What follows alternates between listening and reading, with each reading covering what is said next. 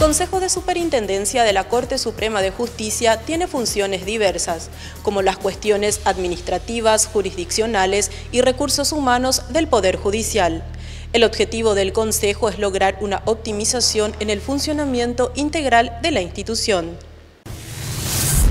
El Consejo de Superintendencia de Justicia tiene a su cargo ejercer las facultades disciplinarias y de supervisión, organizar y fiscalizar la Dirección de Auxiliares de la Justicia, la Dirección de Recursos Humanos, la Dirección Financiera y demás reparticiones del Poder Judicial, entender y decidir en los procesos de casación o anulación de la matrícula de abogados y procuradores. Del Consejo también dependen la Superintendencia General de Justicia, la Oficina de Quejas y Denuncias, la Dirección General de Auditoría de Gestión Judicial y la Dirección de Estadísticas.